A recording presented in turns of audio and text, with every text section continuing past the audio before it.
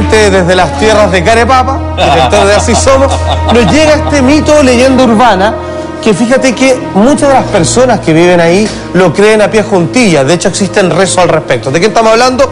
De Tito Lastarria. Fíjense que a fines del año 1800, un hombre de la noche a la mañana agarró una fortuna realmente inconmensurable. Estamos viendo su mausoleo, que se ubica en el cementerio número uno de esa ciudad. ¿Qué ocurre? Este hombre, que todo decía, a fines del 1800 y a mediados de 1900, pasó por ser jefe de la oficina de correos del lugar, fue el alcalde también de la ciudad, gobernador suplente y entre todos estos cargos además fue el director de este cementerio.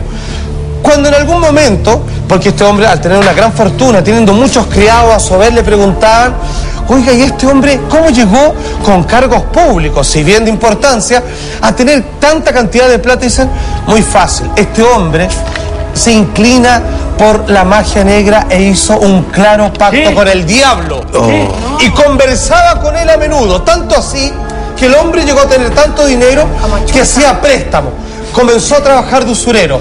Y fíjate que algunos hasta le pedían favores de tipo, oiga, me gustaría que esa chica se fijara en mí. Y él decía, tranquilo, mañana esta niña va a ir a visitarlo.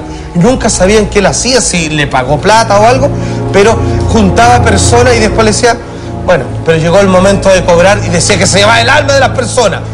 Cuando la gente de la ciudad de Rancagua se dieron cuenta de que así como le pedían cosas, después él te cobraba con creces, con tu, propia, con tu propio espíritu, decidieron juntarse entre todos y como con antorchas, como en películas tipo Frankenstein, lo agarraron y lo enterraron vivo en el cementerio antes de tiempo, encadenado, para que no pudiese salir, colocando cuatro cru- cruces en ese mausoleo que él ya tenía construido para que no se pueda liberar.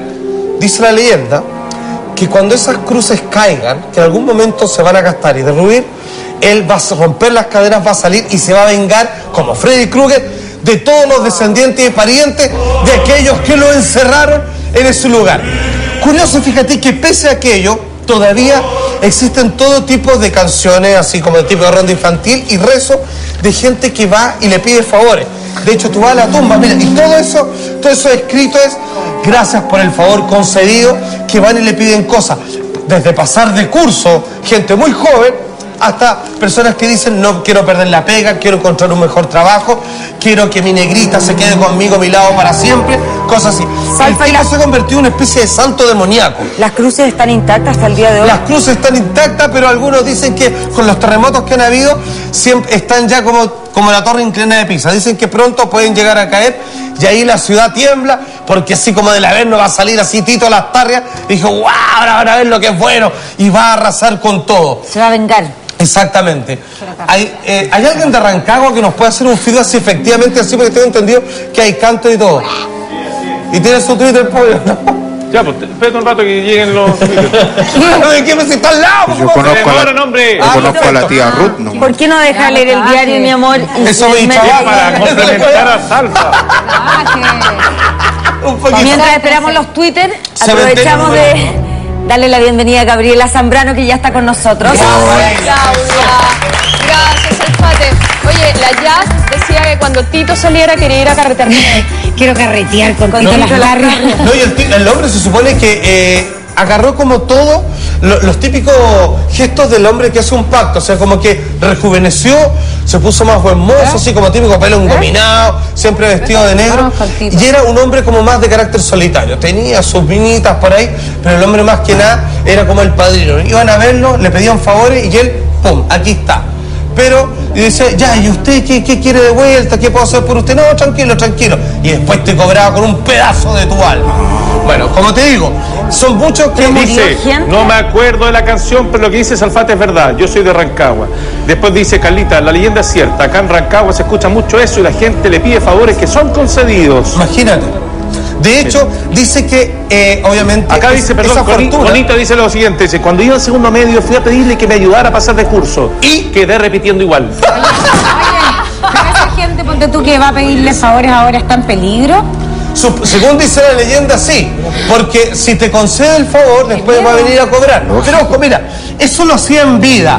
Ahora, supuestamente, lo que dice la leyenda de la ciudad es que en realidad su objetivo número uno es que caigan las cruces, que lo mantienen de alguna manera atrapado, sellado ahí, que, que fue, insistamos, fue enterrado vivo y encadenado. Encadenado. El tipo ni siquiera murió, así lo agarraron todo, le pusieron una lápida encima y chao. Dice que va a romper las cadenas y se va a vengar de los descendientes de aquellos que lo enterraron aún estando vivo. Así que eso es lo que sería, ¿no? Terrible. De hecho, en Viña del Mar hay un- algo bastante parecido, que son que alguien que hizo un pacto con el diablo y que tiene como unas patas de león, fíjate, y que dice que parecen así que tienen seis dedos las patas, así como del 666 del Apocalipsis. Y dicen que también en cualquier momento, cuando la gente va a pedirle favor a esa tumba, dice que va a romper todo y va a arrasar así con la mitad de la ciudad. Mientras. Tito Lastarria estuvo vivo y la gente le pedía favores, ¿hubo gente que murió? ¿Cómo le cobraba los favores? a Supuestamente dice que hay personas que murieron antes ¿Cómo del tiempo, el alma? jóvenes, o sea, como que gozaron en un periodo corto, te estoy hablando uno a tres años, del favor ya sea de dinero, de un mejor puesto de trabajo, de estar junto al ser querido, y luego morían de enfermedades propias de la época, así como, no sé, O le de pasaban desgracia a la físico, familia. exactamente. Pero finalmente este hombre hoy eh, están los que le tienen miedo y no quieren tener contacto alguno con él y un otros que como van y como vieron que estaba rayado con plumón por todos lados, que van a pedirle favor y después les dan las gracias respectivas. Increíble cómo hemos aprendido todo este tiempo con ese libro que se está leyendo el maestro Tito Las Salfate Farrias, maestro. sobre eh, leyendas chilenas. Se agradece mucho Salfate porque no conocíamos al Tito Lastarria. Absolutamente. De hecho, también, eh, fíjate que son varios los casos similares. Ojo, que esa, esa fortuna que él amasó ha pasado de familia en familia, pero hasta el día de hoy dice que nunca familiar alguno ha ido a visitarlo. Mira. Por vergüenza precisamente en la forma de consiguió este dinero, que bueno, supone que lo siguen gozando de ahí, pero que obviamente saben que fue por pacto con el diablo. De hecho, hay, por ahí hay un estudioso en el libro mismo está que dicen que lo, aquellos que van y se pegan una revisada histórica quieren decir, a ver, este hombre realmente, para cortar con el mito, ¿de dónde sacó este dinero? ¿Cuál- ¿Cuáles fueron sus entradas? Y dice que nada, de repente es como si se hubiera sacado eh, el quino en ese tiempo que no existía claramente y pasó de tener un buen sueldo con un puesto de gobierno importante a, a no necesitar nada. Pero él seguía ocupando estos cargos porque además ocupaba estos grados de influencia que siempre le acomodaban dentro de la ciudad. Gobernante, suplente, insisto, y alcalde de Rancagua, ni más ni menos, con pacto satánico, ni más ni menos.